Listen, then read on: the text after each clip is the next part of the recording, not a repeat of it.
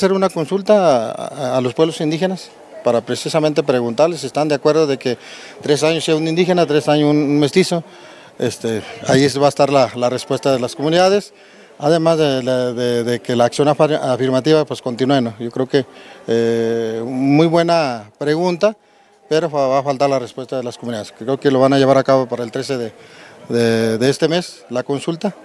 Y, la verdad, este, yo siempre digo que eh, ¿Por qué tanta urgencia cuando se puede llevar a cabo una reforma bien, una reforma constitucional, cosa que no va a ser constitucional porque va a ser una ley reglamentaria, bueno, una reforma reglamentaria, cosa que pues a nosotros no, no nos conviene. Creo que sí, sí hay momentos, independientemente de la urgencia que, que tengan los compañeros o los partidos de llevar una reforma este, rápida de la noche a la mañana, creo que pues eso no nos ayuda bastante. Pues, no tanto así, creo que este, los derechos de los pueblos pues están ahí, ¿no?